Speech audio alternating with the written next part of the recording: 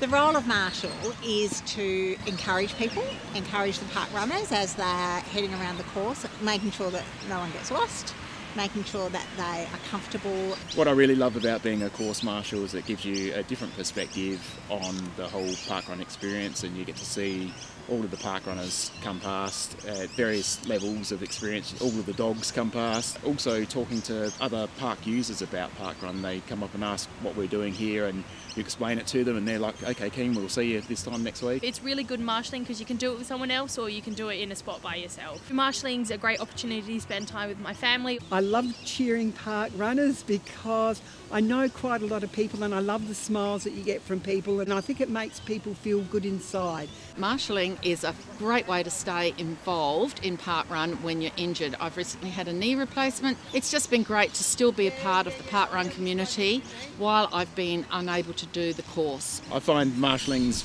the best role to start with.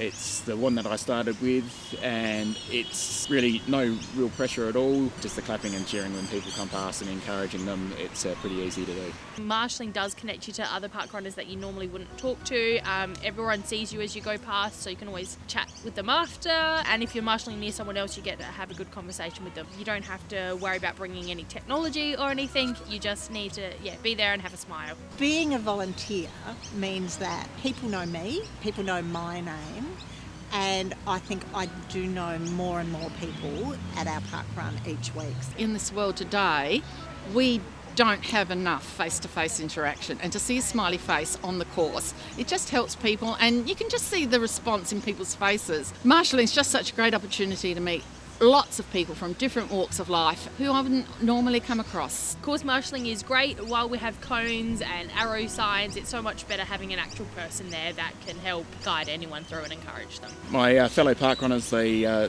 always come past and, and thank me. There's no stress to it. I think that's the best part. I get to have coffees and I get to see everybody. It's a special part of my week.